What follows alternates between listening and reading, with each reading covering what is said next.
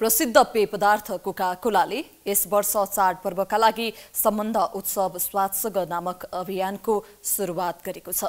चाडपर्वको माहौललाई मध्यनजर गर्दै उक्त अभियान सुरुवात गरिएको कोका कोलाले जनाएको छ।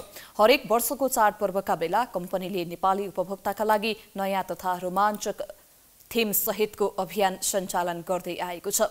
दसैँलाई विशेष बनाउन कोका कोलाले चङ्गा उडाएको टिका लगाएको परिवारसँग बसेर खाएको पेङ खेलेको र देउसी देउसी भैलो खेलेको जस्ता पाँचवटा विभिन्न चित्र अङ्कित लेभलहरू भएका बोतल बजारमा ल्याउने गरेको छ।